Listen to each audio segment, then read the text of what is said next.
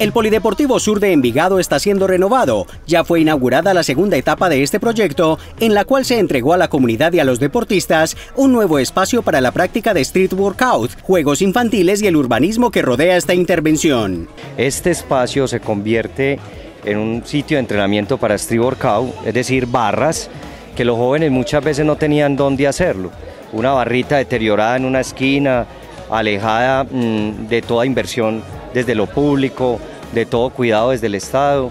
Y hoy lo que quisimos fue cambiar eso y decirle a los jóvenes, los deportes alternativos, aquellos que no son los tradicionales como el fútbol, el básquet, el voleibol, tienen ya un referente para Antioquia y para el Colombia. Y esto no solamente del escenario, sino la posibilidad que van a tener todos los jóvenes, todos los atletas de poder crecer, de mejorar y llegar como a, a, pensar que ese puede ser su proyecto de vida, llegar a dedicarse 100% al deporte.